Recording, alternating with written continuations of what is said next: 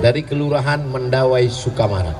Bagaimana menyikapi orang menganggap sholat dan puasa tidak wajib karena dia menerapkan ilmu hakikat.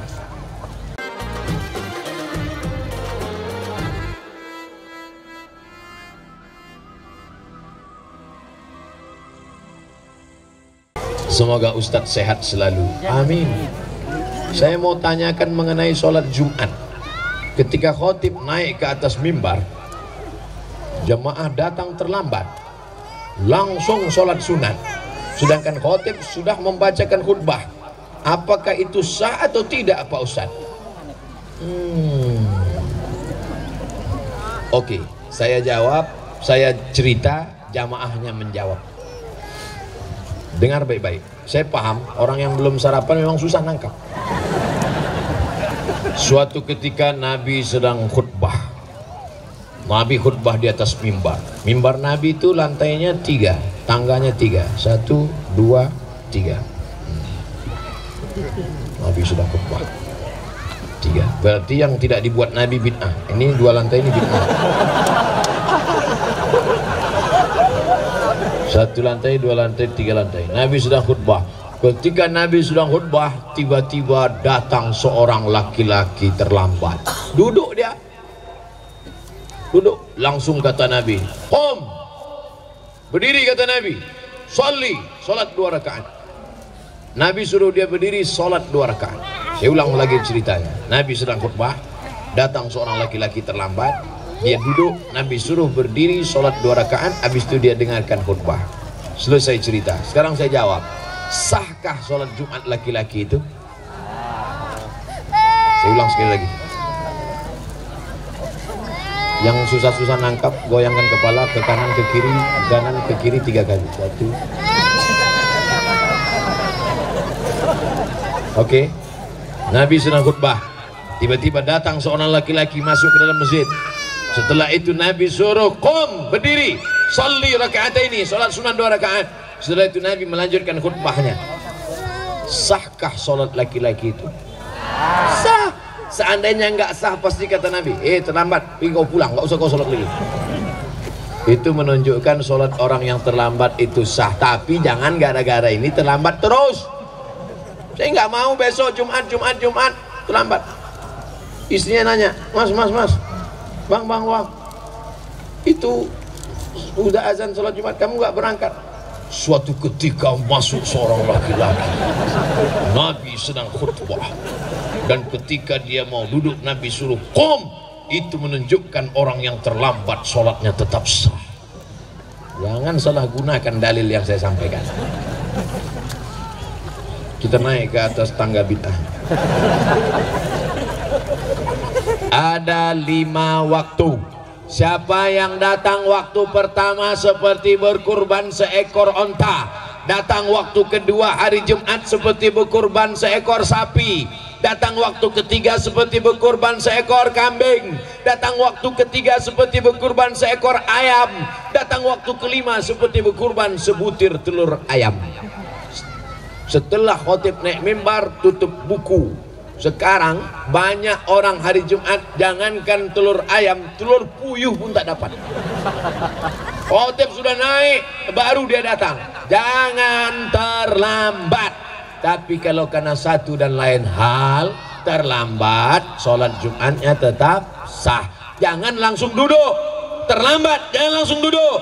Sholat sunat dua rakaat dulu. Dua rakaatnya itu niatnya apa? Qobliyah Jumat. Kalau sholat qobliyah Jumat otomatis dapat tahiyatul masjid. Tapi kalau tahiyatul masjid nggak dapat qobliyah Jumat. Maka langsung qobliyah Jumat. Jangan di depan khotib. Udah terlambat di depan khotib. Allah. Ayatnya Yasin. Pakai baju kaos, tertulis di belakang. Emang masalah buat lo? Ini nantang namanya udah terlambat kau carilah pojok-pojok. Ini harus dijawab serius karena diketik di print dari rumah. Untung nggak dibingkai. Nama saya sensor nggak boleh sebut menjaga kode etik. Dari Kelurahan Mendawai Sukamara. Bagaimana menyikapi orang menganggap sholat dan puasa tidak wajib karena dia menerapkan ilmu hakikat. Kalau dia hidup di zaman Abu Bakar, Umar, Usman, Ali, ini kepalanya udah lepas dari badan. Nasib baik kau sekarang hidup di zaman Pak Bupati Sukamara. Kalau dulu kau hidup di zaman Abu Bakar, Umar, Usman, karena sudah menganggap sampai ke hakikat lalu meninggalkan syariat apakah pernah Nabi Muhammad meninggalkan sholat agak sekali saja Nabi sakit keras lima hari menjelang meninggal. Nabi meninggal hari Senin. Hari Rabu, Kamis, Jumat, Sabtu, Ahad, Senin.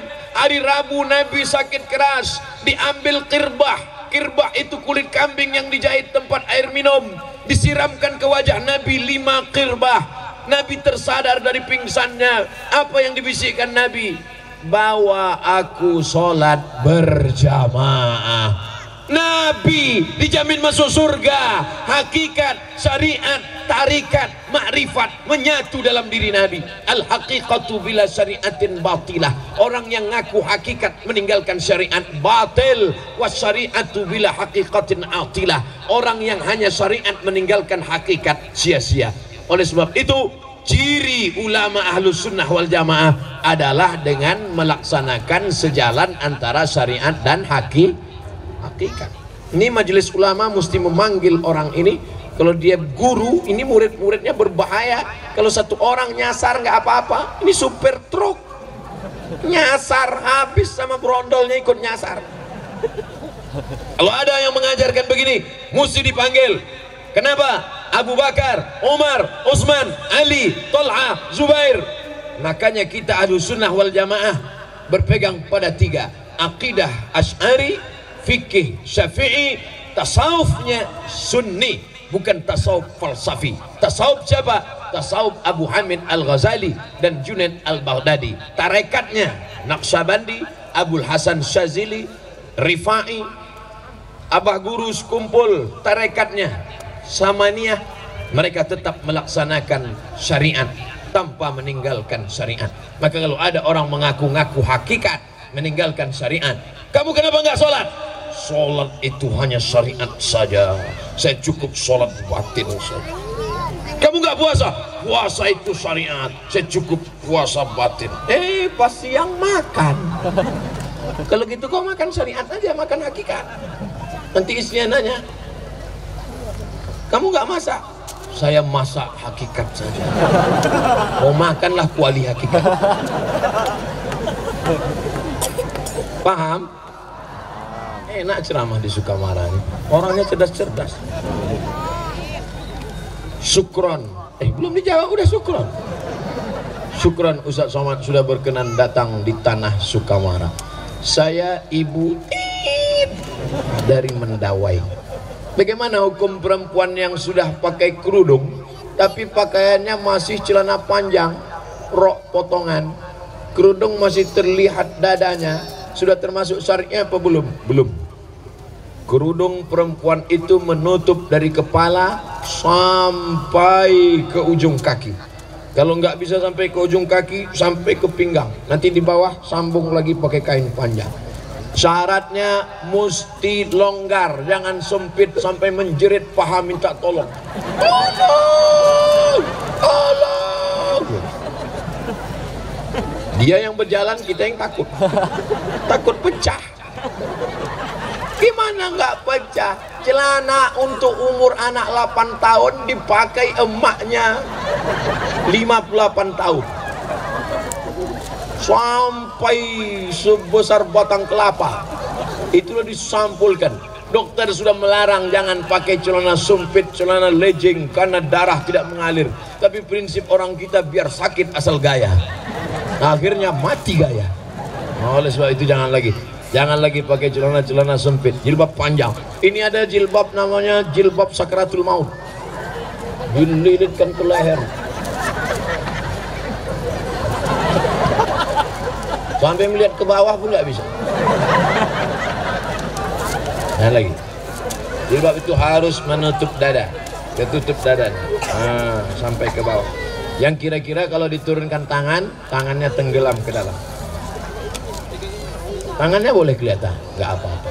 Yang udah pakai cadar bagus. Jangan ejek orang pakai cadar. Istri Nabi pakai cadar. Sahabat Nabi pakai cadar. Yang pakai jilbab bagus. Yang pakai cadar bagus. Jangan kelahi kalau yang pakai jilbab sama cadar kelahi nanti ketawa yang nggak pakai kain. Mudah-mudahan ibu-ibu yang selama ini pakai celana sempit berubah pakai rok panjang. Kecuali polwan. Polwan nggak apa-apa pakai celana. Gimana dia mau ngejar maling pakai rok itu kan karena tugas. Harus logik juga. Satpol PP perempuan. Mau razia kaki lima. Pedagang-pedagang. Lari satu orang. Dia pakai rok. Sebentar ya. Jangan dibayangkan nanti ketawa sendiri. Pertanyaan. Nama saya Jalan Pangeran Suka Marah Sukarma. Oh ada lagi Sukarma bukan salah ketik. Kelurahan Padang, Kecamatan Sukamara, Kabupaten Sukamara. Assalamualaikum warahmatullahi wabarakatuh Ustadz Haji Abdul Somad LCMA uh, lengkap sekali. Apakah ASN wah nyinggung saya nih ASN apakah ASN yang menggadaikan SK di bank termasuk riba? Riba.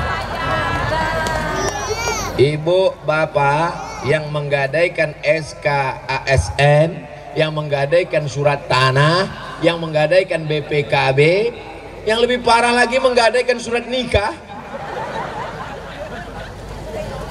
Kalau ada yang bisa dijual untuk membom itu, jual ini, ambil duitnya, dibom ke bank supaya lunas. Bom, bagus. Mohon maaf Pak Ustadz, kalau saya jual ini, saya bom ini, meledak semuanya. Oke, kalau gitu kau lunasi aja sampai lunas. Ya Allah, tolong saudara kami supaya hutangnya lunas. Jangan terjebak riba. Adapun yang punya punya niat mau ngutang-ngutang jangan lagi ngutang. Ustaz Somad ini sombong sekali. Memangnya Ustaz nggak pernah menggadaikan SK Pak Ustaz? Nggak pernah. BPKB Pak Ustaz? Nggak pernah. Jadi Ustaz minjam uang ke mana? Uh, dulu saya minjam ada pinjaman lunak tanpa bunga. Namanya emak bank. Emak saya mak, mak, mak, aku mau beli mobil uh, pinjam pinjaman lunak tanpa bunga. Dibukanya lah gelangnya gelang sama cincin. Kau dari kecil menyusahkan sampai tua. Memang mak saya itu luar biasa. Saya mau ke Mesir dijualnya gelang. Saya mau ke Maroko dijualnya gelang. Saya mau beli mobil dijualnya gelang. Sampai akhirnya mati deh meninggal mak saya Sebelum dia meninggal kata dia tolong belikan aku tanah di bagian kakekmu semeter. Karena dia mau dikebumikan situ. Sekarang saya pergi saya beli tanah itu 22 meter. Habis itu ke belakang 60 meter saya wakafkan semuanya untuk kuburan umat Islam. Mudah-mudahan dilapangkan Allah kubur mak Tak pernah ada rasa puas kepada orang tua maka pesan saya yang masih hidup emaknya masih hidup ayahnya pulang dari sini kau belikan lontong sayur suapin yang masih hidup emaknya pulang dari sini suapkan makanannya buatkan teh manis hidupkan dia peluk dia cium tangannya. Karena nanti kalau dia sudah meninggal dunia barulah kau terasa bekas tempat duduknya pun kalau kau duduk di situ hilang rindu. Bekas tempat sholat sajadahnya pun kalau kau bentang di tengah malam sholat kau di situ hilang rindu bekas tempat dia berjalan dulu tetangga sahabat kau jumpai orang itu puas rindu. Tapi tak ada gunanya. Mumpung dia masih ada sekarang kasih dia makanan paling dia suka. Kasih dia duit. Jangan sampai dia datang ke rumahmu minjam duit 50 ribu. Nah minjam duit 50 ribu nah apa kau katakan? Sebentar ya mak. Kutanya biniku dulu. Oh, kau betul-betul persatuan anggota suami takut bini. Ibu pandai berkata, Katakan ibu kepada suami-suami ibu, aku milik suamiku, suamiku milik ibunya. Katakan, ibu yang rela menghilangkan kasih sayangnya 50% untuk membiarkan ibu suamimu, maka ibu pun nanti akan dimuliakan oleh anak-anak ibu insya Allah. Amin. Janganlah nangis. kalau saya nangis ibu nangis juga nanti kita dikira orang nonton film India Assalamualaikum warahmatullahi wabarakatuh Ustaz Abdul Somad. Semoga Allah melimpahkan rahmatnya kepadamu Pak Ustaz. Lebih utama mana antara bayar pajak atau zakat mal? Bayar dua-duanya. Orang bijak taat pajak. Yang nggak mau bayar pajak dipijak-pijak. Saya bayar pajak. Dan Alhamdulillah syukurnya di negara kesatuan Republik Indonesia siapa yang bayar zakat maka pajaknya dikurangi. Dengan syarat bayar zakatnya di Badan Amil Zakat Nasional ada surat keterangan stempelnya nanti ditunjukkan di kantor pajak maka pajaknya berku berkurang. Ustaz tahu dari mana? jamaah. Assalamualaikum Ustaz Selamat. Waalaikumsalam. Saya sedang berada di kantor pajak. Ini orang pajak mengembalikan pajak saya 2 juta. Kenapa? Karena saya dianggap sudah bayar zakat maka pajak berkurang. Halalkah bagi saya? halal. Bayar pajak, bayar zakat ke tempat resmi minta resit dan keterangannya ada stempelnya maka pajak berkurang disebabkan zakat. Sudah diatur dalam undang-undang. Itu diperjuangkan oleh anggota dewan kita DPR RI mudah-mudahan anggota-anggota dewan yang memperjuangkan ajaran Islam mengeluarkan undang-undang diberikan Allah mereka balasan berlipat ganda apakah zaman Nabi sudah ada pajak? Zaman Nabi tak ada pajak.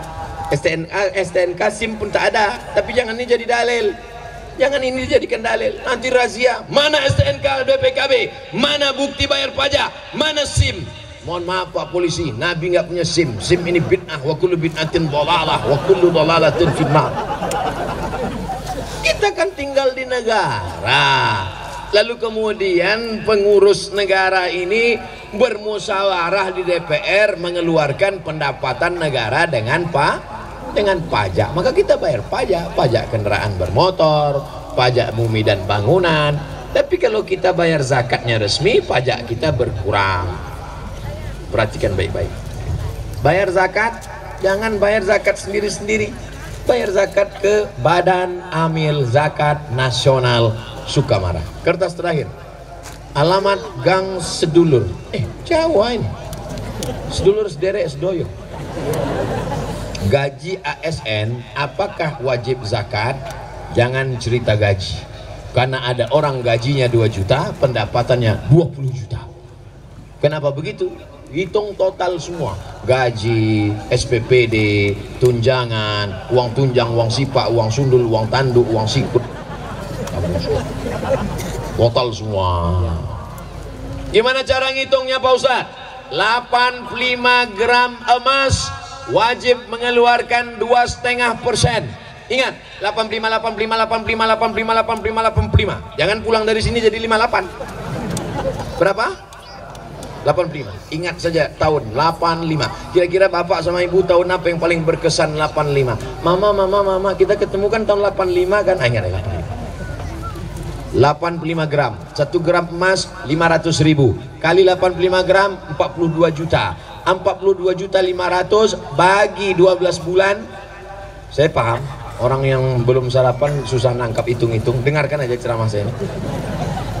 Yang susah nangkap sekarang nanti diputar videonya di channel Ustaz Abdul Somad official. Subscribe like and share. 85 gram kali 500 ribu sama dengan 42 juta 500 selama satu tahun siapa yang penghasilannya 85 gram? Kali 500 ribu 42 juta 500 selama satu tahun dia sudah kena zakat 2,5 persen 45 juta. Eh 45 juta pula. 42 juta 500 itu kalau dibagi setiap bulan keluar bagaimana? 42 juta 500 bagi 12 bulan sama dengan 3 juta 600 Payah ngitungnya kalau 3 juta 600 Oke kita bulatkan 4 juta. Mudah-mudahan semuanya yang gajinya kurang dari 4 juta Penghasilannya lengkap sejak ceramah ini Terhitung dari Januari 2020 4 juta ke atas. Amin. Mudah cara ngitungnya. Gimana cara ngitungnya? 1 juta 2,5 persen. 1 juta 25 ribu. 1 juta 25 ribu. 1 juta 25 ribu. 1 juta 25 ribu. Kalau bapak sebulan dapat 4 juta berapakah zakatnya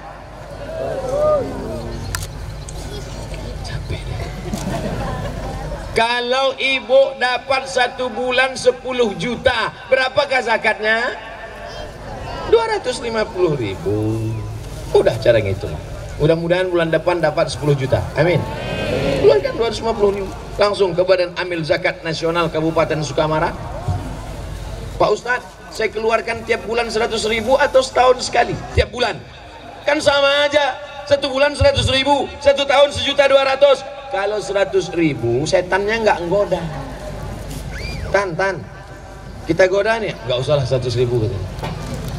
set set. Setan ngajak kawannya satu manggil tan satu manggil set.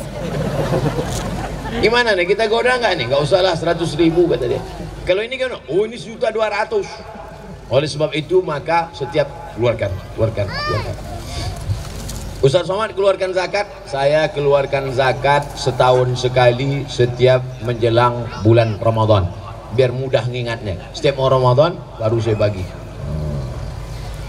Berapa besar jumlah wajibnya Pak Ustaz? Dua setengah persen. Bila masih ada tanggungan utang apa tetap wajib zakat? Tetap.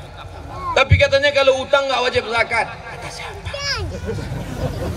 Yang tidak bayar zakat karena hutang itu adalah zakat perdagangan. Zakat dagang perniagaan cara ngitungnya 3 kurang 5 ingat rumus 3 kurang 5 modal yang diputar tambah untung tambah piutang kurang hutang kurang rugi. Saya ulang sekali lagi. Modal yang diputar tambah untung tambah piutang kurang hutang, kurang rugi. Itu cara rumus menghitung zakat perniagaan. Dikurang hutang yang terkait dengan dagang bisnisnya. Bukan hutang roh mobil, hutang rumah, hutang panci, hutang termos. Masuk. Di rumahnya itu tak ada yang cash. Satu-satunya yang lunas bininya itu. Lain hutang semua. Bunyi klakson mobil, kredit, kredit, kredit, kredit. Jangan banyak-banyak utang. Hidup ini kalau dipeturutkan terus mau, mau, mau, mau. Yang banyak-banyak utang. Orang kalau banyak utang, itu detak jantungnya tak normal. Coba pegang jantung sebelah kiri. Nah, kalau yang nggak banyak utang, normal ya. Tapi kalau banyak utang, mudah-mudahan kita dilepaskan dari utang. Keluarkan zakat, pendapatan, PNS, Pemda, BUMN, pegawai, guru, keluarkan setiap bulan 2,5 persen. Salurkan langsung ke Badan Amil Zakat Nasional Kabupaten Sukamara. Hubungi nomor berikut ini. Potong masukkan Instagram like and share. Terima kasih segala perhatian. Mohon maaf segala kesilapan. 7.30 kita berdoa di akhir majlis. Ala hazihin niyah al-fatihah أعوذ بالله من الشيطان الرجيم. بسم الله الرحمن الرحيم. الحمد لله رب العالمين. الرحمن الرحيم مالك يوم الدين. إياك نعبد وإياك نستعين. اهدنا الصراط المستقيم. صراط الذين أنعمت عليهم غير المغضوب عليهم ولا الضالين. آمين. لا تدع لنا ذنبا إلا غفرته. Bubar kami dari majlis taklim ini bersih dari dosa-dosa ya Allah. Wala dainan illa qadaitah tolong kami lepas dari hutang piutang riba ya Allah. Wala maridan illa syafaitah sehatkan saudara kami kawan kami orang tua kami yang sedang kau uji dengan penyakit ya Allah. Wala aziban illa zawwajtah yang lajang yang gadis temukan dengan jodoh yang soleh dan solihah. Wala raghiban illa anjabatah jadikan anak-anak kami anak-anak penghafal Al-Quran. Allah mawafiq ulata umurina Bapak Bupati, Wakil Bupati, DPD, RI, DPR Jadikan mereka orang-orang yang istiqomah menolong agamamu dengan jabatan yang ada di pundak mereka ya Allah. Allah maj'alhum umana'uka. Jadikan mereka orang-orang yang amanah ya Allah Allah wa wafiqna lima tuhibbuhu wa tardah. Tanamkan taufikmu dalam hati kami agar kami dapat beramal dengan amal yang kau cintai dan kau ridai. Allah maj'alna min muammiri masajidik. Jadikan kami orang yang mampu membangun masjid dan memakmurkan masjid dengan solat berjamaah. Allah maghnina bi alalika an haramik. Jadikan kami kaya dan mampu dengan yang halal sehingga kami tak lagi mencari-cari yang haram. Allahumma ja'al hadzal balada baladan aminan mutmainna jadikan kabupaten Sukamara negeri yang aman damai baldatun thayyibatun wa rabbun ghafur Allahumma dafa'anna al-ghala wal waba wal fahsya wal riba wal zina selamatkan negeri ini dari malapetaka bencana riba zina narkoba perbuatan keji dan mungkar اللهم اختم لنا بحسن الخاتمة ولا تختم علينا بسوء الخاتمة اللهم اجعل آخر كلامنا jadikan akhir kalam kami ketika malaikat maut mencabut nyawa kami yang terakhir keluar dari mulut kami kalimah la ilaha illallah Muhammadur Rasulullah sallallahu alaihi wasallam. Rabbana atina fid dunya hasanah wa fil akhirati hasanah wa qina adzabannar wa sallallahu ala sayyidina wa maulana Muhammad wa ala alihi wa sahbihi wa sallam. Walhamdulillahi rabbil alamin. Taqabbal Allahu minkum minna wa minkum taqabbal ya karim. Pulang dengan tenang jaga kebersihan masjid kita yang sudah cantik dan indah. Ambil sampah-sampah botol-botol kresek-kresek plastik-plastik. Buang pada tempatnya. Terima kasih segala perhatian. Mohon maaf segala kesilapan dan kesilapan wallahul muwaffiq ila aqwamit thariq wassalamualaikum warahmatullahi wabarakatuh.